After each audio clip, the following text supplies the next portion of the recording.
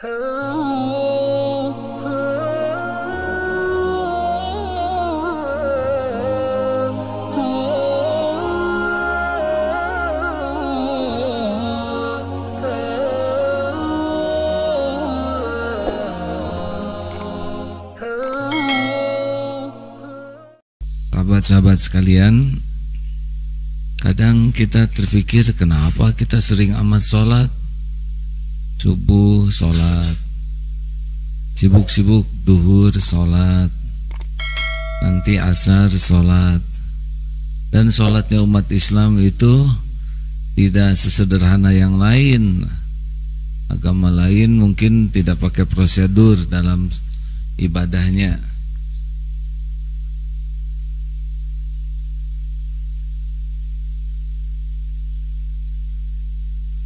Dalam Islam harus wudhu dulu Harus terjamin kesuciannya.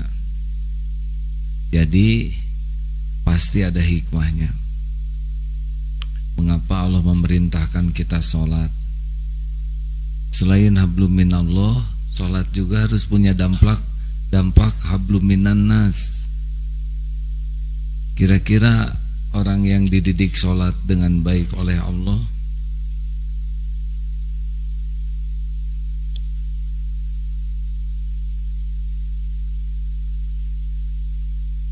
Apa hikmahnya? Satu Orang yang sholatnya baik itu kelihatan sekali akan disiplin terhadap waktu Karena sholat mengajari kita disiplin terhadap waktu Jadi kalau ingin tahu orang yang sholatnya berkualitas Selain bagus dalam melaksanakan sholatnya Benar rukunnya, syarat-syaratnya juga dalam kehidupan sehari-harinya itu sangat e, menghargai waktu. Karena Islam adalah agama yang sangat serius terhadap waktu. Allah sendiri bersumpah berkali-kali dengan waktu wal asr wad duha wal laili wan nahar.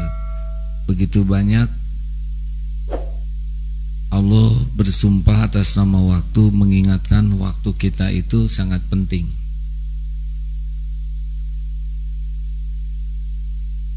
Jadi kalau ingin sholatnya khusyuk, selain kita berusaha dalam sholat khusyuk, cobalah jaga agar tidak ada kesia-siaan. Min husni islamil mar'i tarkuhu malayani.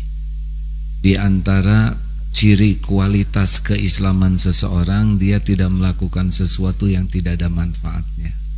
Bicaranya semuanya bermanfaat sikapnya bermanfaat, gerakannya bermanfaat, maka tidak ada yang sambil dia menggerak-gerakan kaki, menggerak-gerakan jari yang tidak ada manfaat. Seperti pulpen, cekluk, cekluk. Saya kira orang yang sholatnya berkualitas, dia tidak akan nyekluk-nyekluk pulpen yang tanpa salah.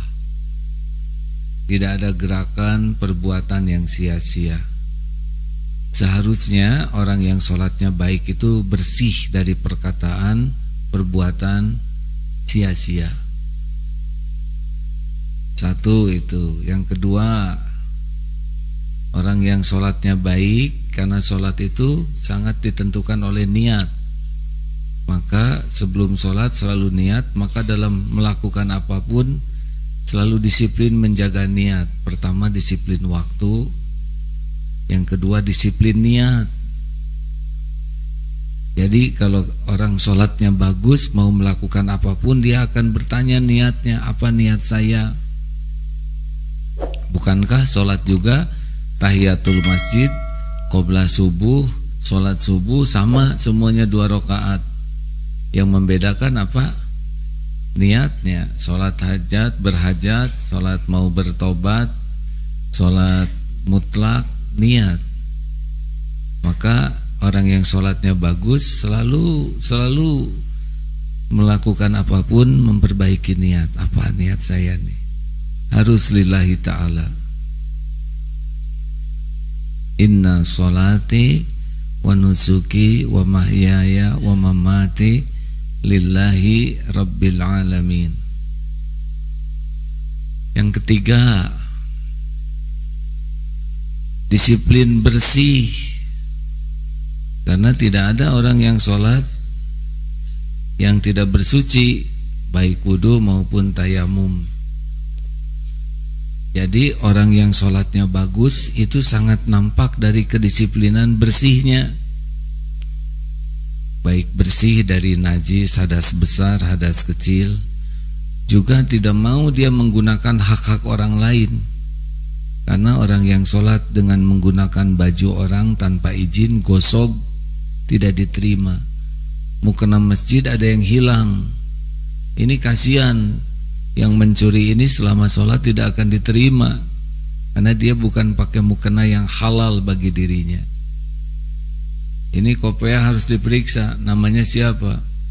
Kalau namanya Teddy padahal nama aslinya Asep berarti halal karena namanya Asep Teddy. Hati-hati kerudung akhwat jemuran sama tiba-tiba hujan ambil jemuran yang dipakai milik orang lain harus sah. Harus minta izin. Bersih dari yang haram bersih dari yang bukan hak dirinya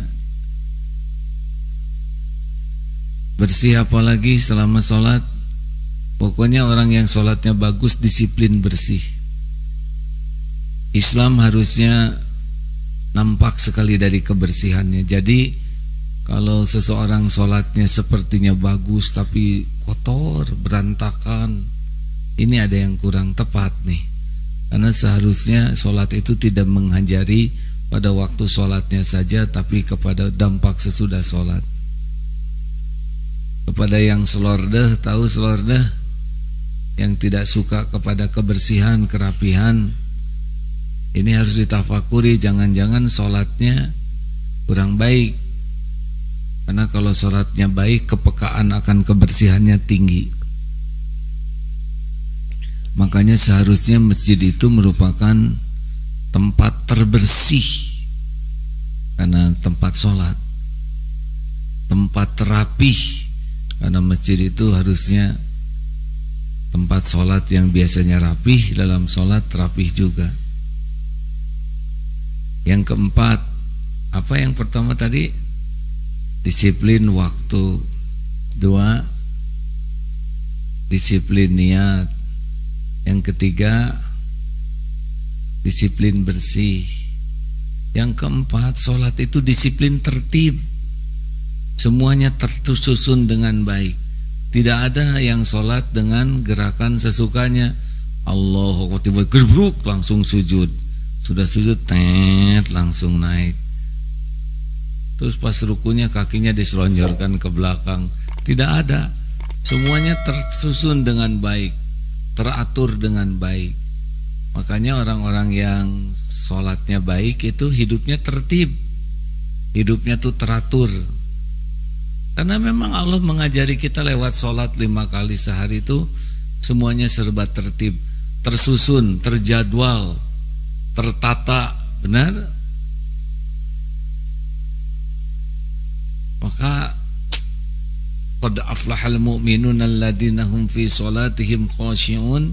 Amat sangat beruntung orang yang berqad aflahal mu'minun orang yang beriman yang khusyuk dalam salatnya sukses bahagia menang mulia itu karena memang dalam salat itu tidak hanya mengajari hubungan kita dengan Allah tapi berdampak pada karakter kita. Seorang yang sholatnya bagus seyogianya dia menjadi manusia yang tertib prosedural tertata semuanya itu. Ya kan? Dari mulai niat takbir terus dan tidak ada yang berani melewati ini semuanya tertata harusnya dalam kehidupan kita juga begitu dalam kehidupan tuh semuanya tertata tersusun dengan baik. Karena kalau kacau, kita tidak punya program, tidak punya perencanaan, gagal dalam merencanakan sama dengan merencanakan kegagalan. Gagal dalam persiapan sama dengan mempersiapkan kegagalan. Satu, ciri orang yang sholatnya baik akan berdampak disiplin waktu. Dua, selalu menjaga niatnya lillahi ta'ala. Tiga disiplin selalu menjaga bersih lahir batin harta pikiran lisan hati. Empat disiplin tertib tersusun semuanya tuh ya. Teratur. Ada lagi yang kelima disiplin fokus karena sholat itu sebetulnya melatih kita fokus ada seorang tua yang bicara kepada anaknya, nak kamu ini kurang berprestasi, sebetulnya bukan kurang pinter, tapi kurang fokus. Lihat para pemanah itu orang-orang yang fokus. Ada target, tidak ada fokus, tetap saja tetangga yang menjerit, ya. Pernah lihat waktu percobaan kaca pembesar Surya Kanta kaca pembesar kemudian memfokuskan sinar matahari dan ternyata kertas terbakar. Pernah saya lihat juga di TV ada percobaan di pantai menggunakan kaca pembesar sebesar meja ini nih. Di pantai cahaya mataharinya sama kaca pembesarnya agak besar lalu mencoba membakar sate. Difokuskan dari cahaya matahari dagingnya langsung terbakar. Tidak hanya dagingnya difokuskan kepada tusuk satenya yang terbuat dari besi juga. Ternyata meleleh. Tidak hanya itu batu. Batu tempat penyimpanan arang-arangnya. Terus difokuskan batunya juga membara betapa matahari yang sehari-hari ini ada di sekitar kita energinya tuh luar biasa ketika fokus. Kita susah fokus, salah fokus, salfok, gaplok, gagal fokus, tidak fokus, akibatnya kita tidak bisa berbuat banyak. Padahal kalau fokus kemampuan kita bisa seperti matahari itu yang difokuskan oleh Surya Kanta, kita bisa berprestasi. Ya seperti sekarang ini mendengar ceramah ini, berapa ribu yang mendengar sekarang. Yang paling mendapatkan adalah yang paling fokus. Walaupun duduknya sama di masjid, tapi kalau tidak fokus dia tidak dapat apa-apa. Ada yang fokusnya ke yang lain, fokus ke HP, ada yang fokus ke impian karena dia berada di alam lain. Alam mimpi. Tuh pas bangun langsung wirid ya. Disangkanya masih habis sholat tadi. Subhanallah, subhanallah. Sudah selesai wiridnya deh. Nah hadirin sekalian, di sekelas saja di kelas itu gurunya sama, jam pelajarannya sama, hasilnya beda, betul? Apa rahasianya? Fokus. Nah sholat itu mengajari kita lima kali sehari disiplin fokus. Ayolah berlatih fokus. Bisa kok. Sholat itu bukan sesuatu yang mustahil. Khusyuk ingat kepada Allah itu bukan sesuatu yang mustahil. Nomor berapa sekarang? Disiplin tuma nina. Jadi walaupun kita fokus tapi kita tetap nyaman. Allahu akbar. Kalau sudah Allah Maha Besar itu segala sesuatu selain Allah itu tidak ada apa-apanya sama sekali. Bismillahirrahmanirrahim. Fokus dengan menyebut nama Allah yang maha pengasih lagi maha penyayang. Tapi tenang. Ini hebatnya nih.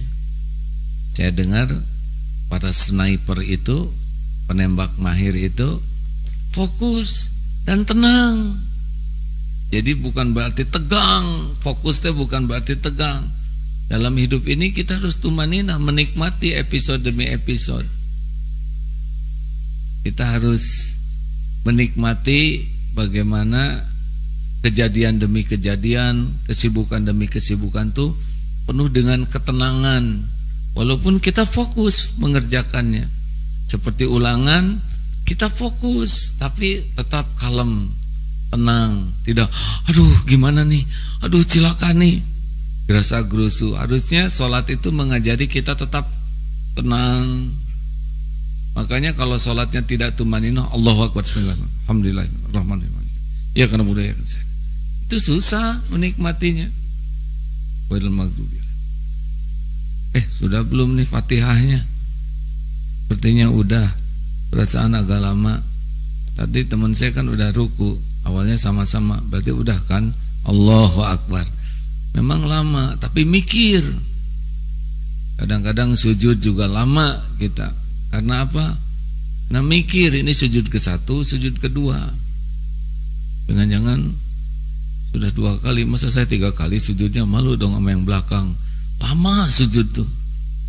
Dia mikir karena tidak tumanina. Ada yang saking tergesa-gesanya fil alamin innaka hamidun majid Astagfirullahaladzim Astagfirullahaladzim Assalamualaikum Assalamualaikum Assalamualaikum Assalamualaikum Assalamualaikum Assalamualaikum Assalamualaikum Assalamualaikum Assalamualaikum Assalamualaikum Assalamualaikum Assalamualaikum Gimana itu Ini kita tidak membahas khusus dalam sholatnya Tapi efek sholat dalam kehidupan kita Ya Kenapa orang bisa tenang? Ya Allah bizikrillah tatmainnul qulub. Jadi tenang. Nih ayatnya surat Ar-Ra'd ayat 28. Silakan Ustaz tolong dibacakan. A'udzu billahi minasy syaithanir rajim. الذين آمنوا وتطمئن قلوبهم بذكر الله ألا بذكر الله تطمئن القلوب Orang-orang yang beriman dan hati mereka menjadi tentram dengan mengingat Allah Ingatlah hanya dengan mengingat Allah hati menjadi tentram. Ala bizikrillah tatmainnul qulub. Jadi harusnya orang-orang yang sholatnya bagus tuh khususnya tidak hanya dalam sholat, tapi sesudah sholat juga orangnya tuh kalem. Kalem tuh bukan berarti kayak lembu, hadirin. Kalem itu kalem itu benar-benar menguasai diri tidak gerasa gerusu, tidak serba tergesa-gesa, tapi juga tidak melambat-lambatkan ya. Seperti ada yang tukang parkir stop, stop. Ternyata kakinya udah kelindes stop.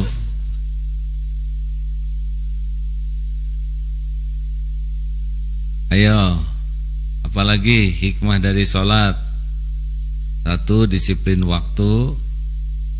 Disiplin niat, disiplin bersih lahir batin, disiplin tertib, disiplin fokus, disiplin tumanina, ada lagi? Ayo, ada lagi yang didapatkan dari sholat? Itu tadi ada berapa? 6 Sebetulnya banyak ya Kita tutup saja disiplin salam Wah, apa salam itu?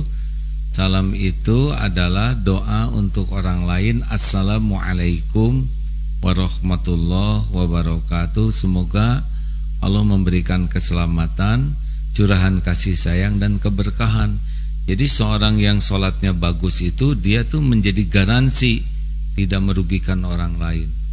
Inna sholata tanha anil fahsya iwal mungkar Jadi seorang yang sholatnya bagus itu Dia menjadi disiplin menjaga dirinya tidak merugikan orang lain. Kan salam itu ke kiri ke kanan yang saya pahami hikmahnya bahwa kalau sudah selesai jamin nih kita tuh ingin melihat orang lain selamat, ingin melihat orang lain dapat curahan rahmat kasih sayang Allah, ingin orang lain dapat berkah.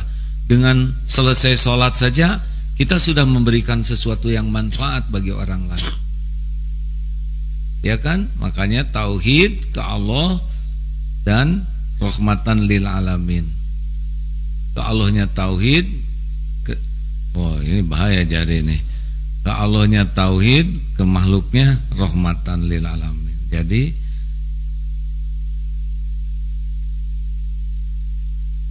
ke Allahnya bertauhid, fokus dalam sholat, selesai sholat, assalamualaikum.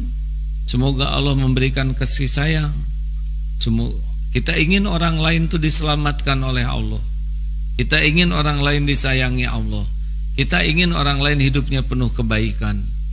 Itu selesai sholat yang kita lakukan adalah manfaat bagi orang. Makanya orang yang sholatnya bagus Dia disiplin di dalam memberikan manfaat lah Itulah gitu Karena selesai sholat tuh langsung Ditutupnya tuh dengan manfaat Mendoakan orang lain Dan saat yang sama Kita pun menjadi garansi nih Orang lain tidak akan dirugikan oleh kita. Lah kita ingin orang lain selamat Masa kita yang mencelakakan Benar? Jadi seorang yang sholatnya bagus tuh khairun nas anfa'uhum linnas selain dia tidak berbuat zolim saat yang sama dia pun berbuat kebaikan bagi orang lain. Ini hanya hikmah hadirin sebisa yang kira-kira bisa dilihat dengan kasat mata lewat gerakan sholat kalau lima kali sehari kita dilatih disiplin sewaktu disiplin niat disiplin bersih disiplin fokus disiplin tumanina Disiplin apa lagi? Dan disiplin salam ini sebetulnya harus berubah diri kita ini. Bayangkan sehari lima kali kita melakukan riado seperti ini, betul? Tapi kalau memang sholatnya sering tapi tidak ada kedisiplinan terhadap waktu, tidak ada serius menjaga niat, Mungkin sholat kita masih belum serius Masih jadi beban Belum merupakan suatu kenikmatan. Nah inilah Kalau ingin ditolong oleh Allah Wa'tasimu bihablillahi jami'a. Eh Bagaimana? Wasta'inu Bisabri wassalah Wa innaha Lakabiratun illa alal khasyin Jadikanlah sabar dan sholat sebagai pembuka pertolongan Allah bagimu dan yang gini berat kecuali bagi orang yang khusyuk. Nah, di antaranya mudah-mudahan selain yakin ke Allah juga sholat berdampak dalam kehidupan kita, perilaku kita sehari-hari. Ini sekedar hikmah saja dari kasat mata yang bisa kita lihat dari gerakan dan perbuatan sholat. Semoga sudah tersambung dengan guru kita ini. Bagaimana? Waalaikumsalam warahmatullahi wabarakatuh. Apa kabar Pak Miftah? Amin, amin, amin. Ah, baru ulang tahun. Hehe. Ini diumumkan seperti anak-anak. Berkah. Pak Miftah, boleh nggak sih ada yang mendoakan semoga umur panjang dan penuh berkah? panjang yang berkah ya Pak Miftah. Karena ada hadis kan seseorang yang didoakan oleh Rasulullah supaya umurnya panjang. Dan menjadi panjang sekali itu umurnya. Sampai katanya alisnya tuh turun. Berarti mungkin ada takdir umur yang dipanjangkan yang penting berkah. Begitu ya Pak Miftah bagaimana rasanya Pak Miftah sudah usia 70 77 77 Hijriah. Berarti Masehinya 75 ya? Saya 57 Ah Berarti bulak balik ini. Bagaimana rasanya Pak Miftah? Saya belum nyobain usia 5, 75 Pak Miftah udah nyobain 57 Ada yang berbeda enggak Pak? Cara pandang hidup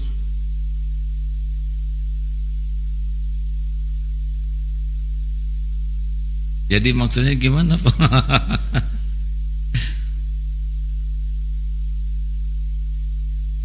mestinya amal semakin bertambah. Mungkin kuncinya ingat meninggal gitu Pak.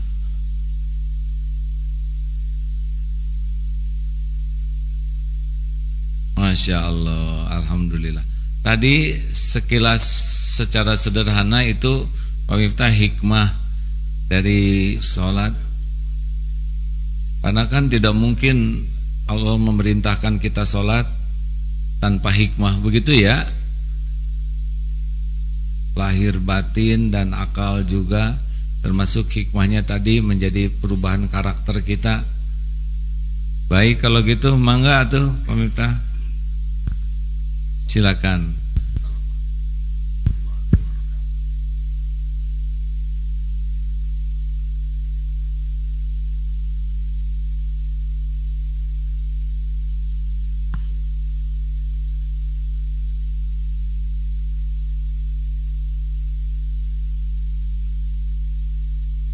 Tes.